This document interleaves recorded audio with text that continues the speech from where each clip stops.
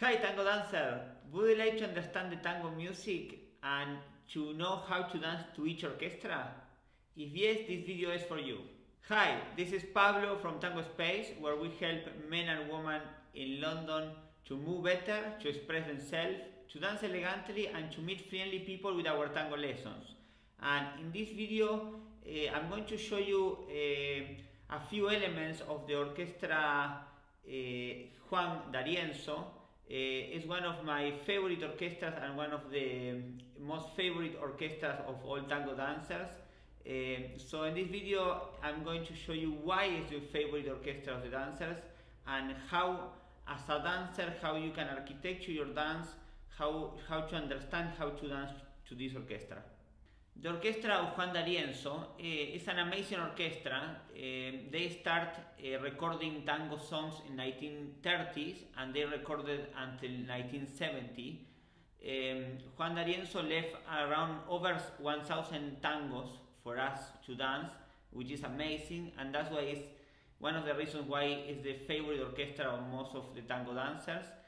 Um, however, in what happened is in 1935 uh, he imposed this uh, style uh, when the, the old tangos, the, the, old guard that we call the, the Guardia Vieja, were playing in very similar style. Um, so what D'Arienzo did is he he made a revolution in the tango scene because he created this new style where he was putting much more emphasis in the rhythm and adding some elements, musical elements in, in his orchestra and also putting more accent in the, in the beat. So that's um, one of the uh, one of the few things that, that he created to make tango so energetic and so powerful and so playful to dance. Uh, so we are going today uh, to look at three three of these elements.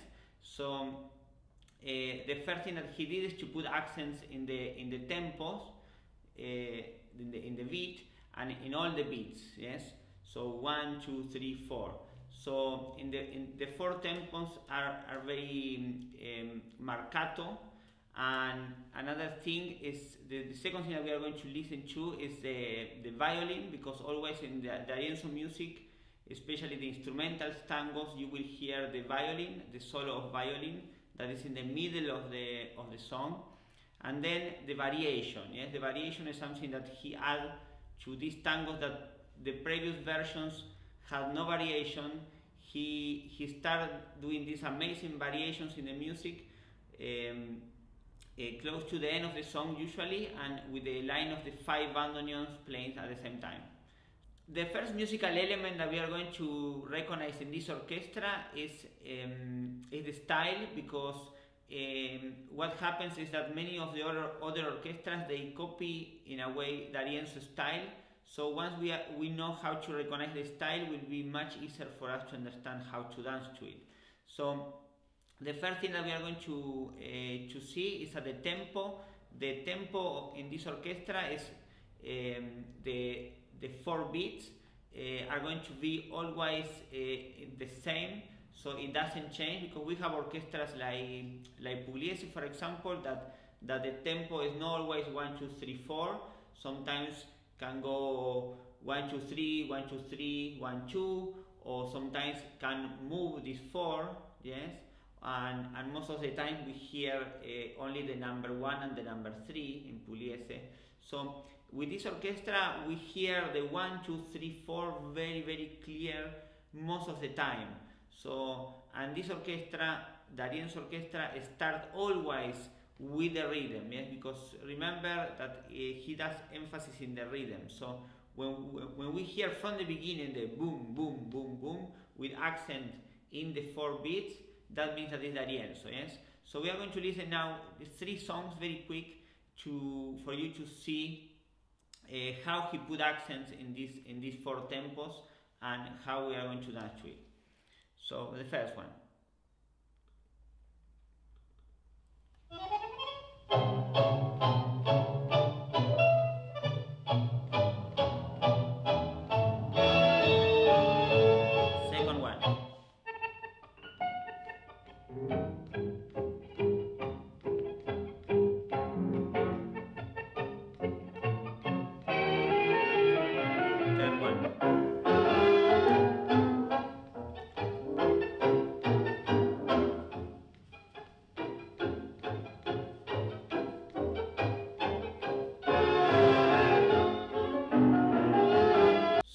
You can hear, uh, with Arienzo, with this uh, marcato and with the always accent in the four in the four beats, uh, it's very important to understand that the way that we are going to dance is completely different than Di Sarli or Pugliese or, or other orchestras where where they don't have the four strong beats.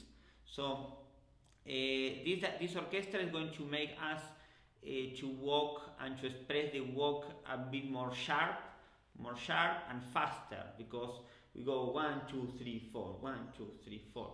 So the way that we are going to dance is completely different. Even if we are doing ochos or, or any any step, we want to stay with this strong accent in the music. Even that this orchestra, uh, it, it, was all about the rhythm, and we want to stay playful and always engaged with the with the beat. Um, what import, one important thing is is to um, the, the violin in this orchestra because the um, always uh, in the middle of the song or in some parts of the of the song you will have the solo of violin is when you hear only one violin over the, the other instruments. That means that the, the tempo will be always in the background but what we are going to listen now is, is the violin and it's an amazing moment to express something in the music to create a suspension because when you hear this violin it's very powerful. So it's something that we cannot miss when we dance this orchestra especially in instrumental uh, songs. So yes the beat is going to be always there but we can always go back to that. So what we don't want to do is to miss the violin. So let's listen a few uh, a few songs a few examples for you to see where is the violin the first example is going to be uh, a tango that's called Que Noche, and I show you now.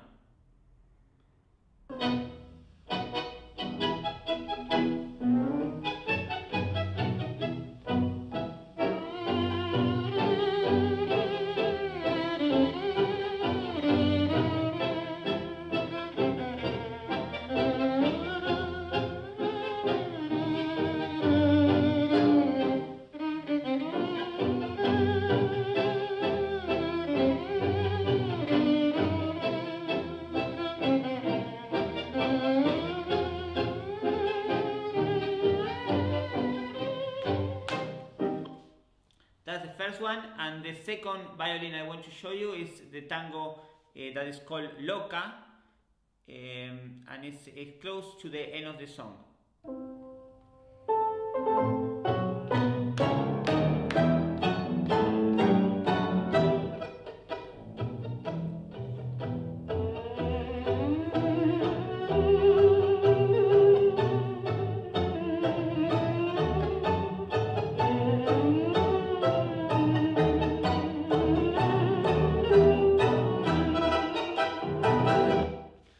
As you can see, the, the beat is still there, it's very powerful, but we cannot miss that beautiful violin uh, because that will give us a tool to improvise in the music and to, to express different things. Because if we stay the full song with the beat, yes, tan tango, the dance becomes very monotonous. So you want to be more creative and to start using these elements, especially in this orchestra, because otherwise it's going to be all the time, you know, uh, very rhythmical. So you want to start uh, expressing the melody, yes, of this of this violin.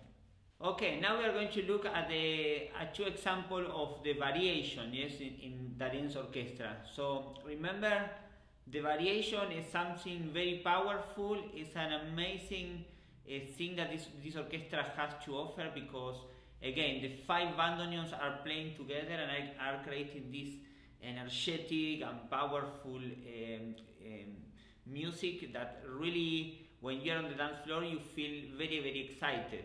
So what you want to express uh, usually with the variations of course is changing of dynamic. We want to accelerate whatever we are doing we want to accelerate and especially circular movements like giros ochos and um, yes it's something that we can always express different than what we were expressing before. Yes, remember with the violin was something was a, a suspension, was something slow, and with the with the beat was was a walk. So now with the variation, want, we want to express something different. So let's listen to two of them. The first one is El Choclo,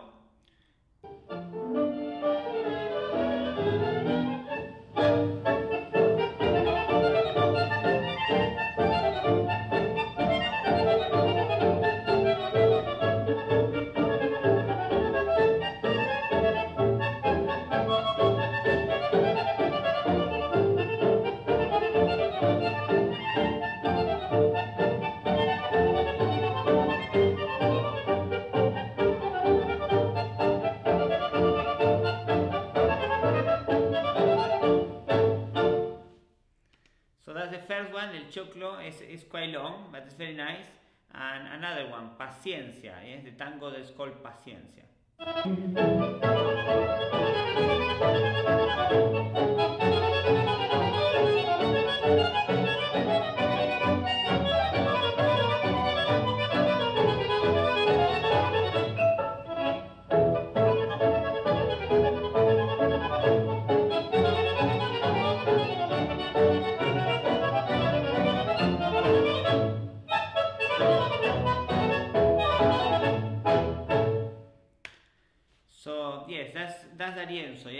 you hear that, that's the right hand of the bandoneon. Uh, it's expressing something. It make you move. It make you to feel very uh, anxious and very energetic when you want to dance this. So it's something that we want to dance to it. Uh, again, we, we don't want to miss it, this part of, of, of the song because we are going to express something different uh, of what we did before in the dance. So usually, again, it's, in, it's close to the end of the song, so we, we are going to, to change the dynamic and to express this in a different way. Okay, today we look, we look only at these three musical elements, but D'Arienzo is a very, very rich orchestra for us, for the dancers, and has a lot of little things, a lot of syncopas that we are not going to look at that today, but um, it has a lot of gifts, you know, a lot of little things in the music that you can start listening uh, because the the music the, the orchestra has different layers and you start listening to different things. However these three musical elements is something for you to start to start listening to and to start dancing to it yes? So remember a very very quick recap. So the first one is the strong the strong beat that is in the four. One two three four it's always with accent in the four tempos and then we have the, the solo of violin that usually is in the middle of the song that we want to express, we want to dance to it. And the third one is the variation, yes, the variation with the five bandoneons, you know, very powerful, very energetic, and again, we want to express this in a different way. I hope this video was helpful, and if you like it and it was helpful, please share it with your friends. If you are in YouTube, please do not forget to subscribe to our channels. We share weekly videos uh, for you to keep learning by watching our videos. And I would like to invite you that this weekend we are uh, doing a free webinar in Tango Musicality. So if you want to keep improving your musicality, keep improving your tango, uh, this, uh, this webinar is for you because we are going to to look at how, how to dance to each style of the tango music and how you can architect your dance with the music. So I'm going to put a link uh, in the comments below uh, that you can you can register uh, to attend our, our free webinar this coming weekend. So please keep learning and keep sharing your dancing that the world of tango needs your embrace. See you in the next videos. Bye bye.